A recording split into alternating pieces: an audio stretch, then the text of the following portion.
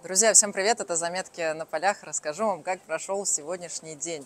Я нахожусь в Волгограде на военно-патриотической игре «Зорница 2.0». Меня сюда пригласили провести прямую трансляцию. У меня, конечно, небольшой опыт работы именно в студии, потому что я больше полевой военкор, работаю на земле, но все-таки опыт у меня такой был. Как-то раз э, меня вывели в прямой эфир Первого канала именно в студию в Донецке. Э, мы делали такой телемост Донецк-Москва, я была прям ведущей со сценарием, э, с ухом, с режиссером, и мы общались с гостями, записывали подводки, и все это было в онлайн э, формате. Было, конечно, очень страшно, у меня дрожали коленки, но с тех пор я сделала много выводов. И вот сегодня у меня тоже был опыт работы э, в студии, сейчас я вам ее покажу. Она, конечно, сделана практически под меня, я вам скажу по секрету. Здесь такая тоже, она у нас полевая, передвижная, и у нас тут реально такие, я вам скажу, боевые условия, потому что это сейчас стих ветер, а сегодня был просто какое-то ураганище, и вот этот весь песок, который находится здесь, который находится на поле, все это залетало нам в студию. Вот очень болят глаза от софитов, уже вся кожа болит от макияжа. А, но было очень круто, классно. Сейчас вам так покажу студию. У нас тут уже все собираются. А, вот софиты, здесь стояли операторы, камеры, э, флаги. Вот здесь были тоже выведены картинка. Посмотрите, какие классные декорации. Это вот наши режиссеры, операторы. А это мое было прекрасное место. А вон как раз ребята, победители. И Сергей Владиленович Кириенко тоже здесь. Приехал посмотреть на игру, поздравить ребят. Вот, расскажу вам немножко о самой игре.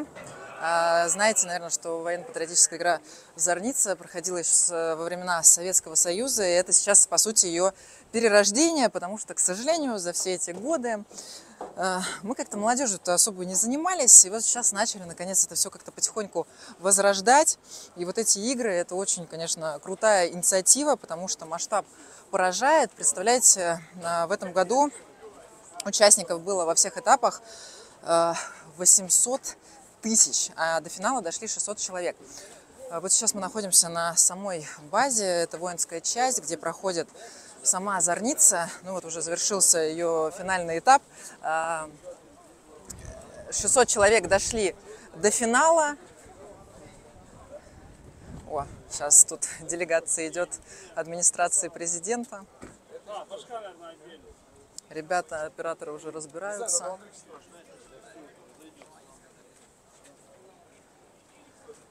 Вот, э, проходит э, эта зорница воинской части, и объемы, масштабы – это 600 гектар, это примерно как 450 футбольных поля. Ну, посмотрите, Сергей Владиленович общается с курсантом. Или... Ну, в общем, ребята здесь снимают, работают. Я тоже снимаю. Хочу к вам, вам показать э, ребят. В общем, в чем э, суть э, игры? Э, есть армия красных, есть армия белых. Армия белых – это Ахтуба, армия красных – это Волга. И, в общем, ребята выполняли различные задания. Основная цель, ну, по легенде, есть условный противник. Это Центр психологических операций, ну, типа ЦЕПСО. Вот, и ребятам э, нужно выполнять различные задачи, чтобы выявить координаты этого центра и навести туда авиаудар. Игра сегодня была очень вообще яркая. Посмотрите, есть ребята, которые, к сожалению, получили какие-то травмы. А, ну, у них все действительно, посмотрите, как было, как в реальной жизни. Экипировка, снаряга. Они выполняли штурмовые действия. В каждой группе, в каждом отряде есть и медик, и сапер, и штурмовик, и оператор БПЛА и те, кто... О, господи, меня сейчас снесут. Не снесете? Вот, ребята, я думаю, очень устали, э, потому что игра продолжалась долго, в несколько этапов, и младшая группа, и старшая. Вот сегодня был финал этой игры. Я все это комментировала вот из этой студии. Честно, опыт был интересный, потому что одно дело там записать подводки, э, там пообщаться в студии с гостем, а другое именно комментировать игру в прямом эфире, когда ты видишь только вот картинку на экране, тебе надо говорить что происходит, иногда ты не понимаешь, что происходит, вот, но было круто, классно, и в итоге победила команда Ахтуба, белые, там вот за центр принятия решения была большая э, битва, потому что сначала флаг устанавливали красный, потом белый. В общем, игра Зорниц э, превзошла все мои ожидания. Тут, кстати, еще есть мой друг, э, командир армии Александр Камышов, депутат Народного совета ДНР. Вот, но что-то мы сейчас опять с ним потерялись. Мы за эти все три дня с ним до сих пор ни разу не свиделись, потому что я все время работала в студии все эти три дня, а он с ребятами проходил задания. Посмотрите на этих э, счастливых участников. Это как раз у нас победители э, команда белых Ахтуба.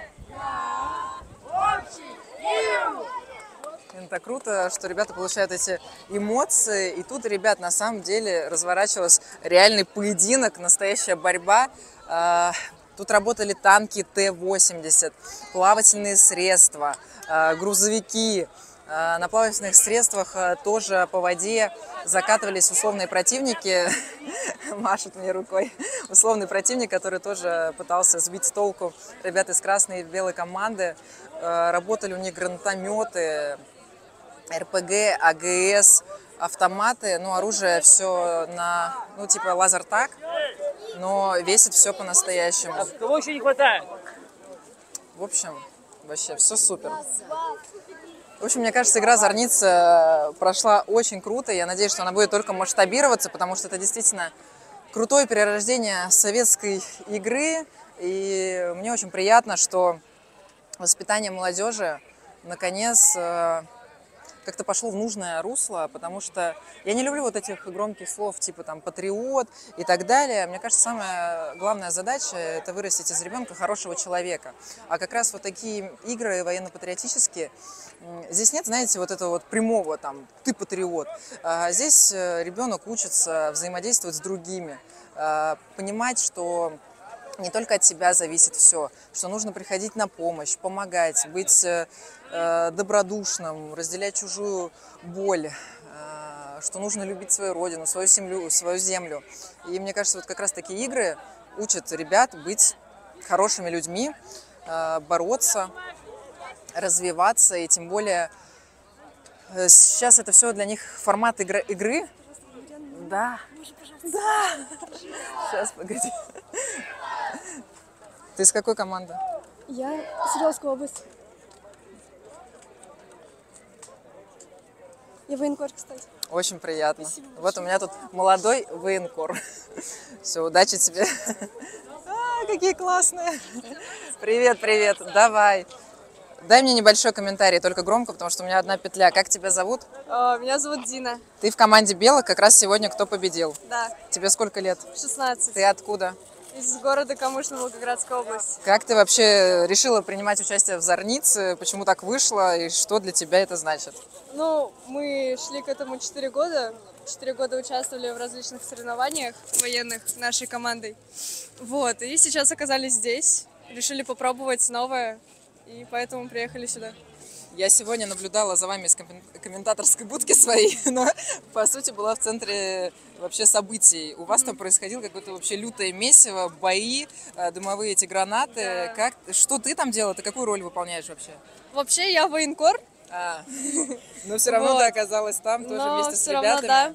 Мы бегали, забирали флаги, занимали точки, держали оборону. Ну, в принципе, было весело, тяжело, потому что спали очень мало, спали всего лишь два часа. Ну, игра Но- шла 24 часа, у вас совсем было мало времени, конечно. Да. Свободного его, по сути, не было. Да, не было вообще. Очень хотелось кушать, и сейчас очень хочется кушать. Но все вообще очень круто, очень понравилось. Ну, Вот что для тебя любовь к родине, патриотизм, что это значит? И вот воспитывает ли игра Зорницы вот эти вот качества любовь к родине? Безусловно, Зорница 2.0 воспитывает качества, такие как патриотизм, любовь к родине, потому что, ну, мы каждый день, во-первых, поем гимн, поднимаем флаг, это как минимум уже что-то значит. Во-вторых, ну, такие мероприятия, такие соревнования, они как бы сподвигают молодежь на будущее, как бы мы думаем о будущем, мы думаем, что вот что нам делать, если вдруг, допустим, даже нападут на нас тоже из своего Ну, Надеюсь, Уже до этого не дойдет. наде- надеемся, да, но Нашу территорию, наверное, готовы. хотят всегда Мы захватить. Ну вот, посмотрите, какие у нас есть девчонки, которые, если что, готовы взять в руки оружие, защитить. Но я надеюсь, что все-таки не придется.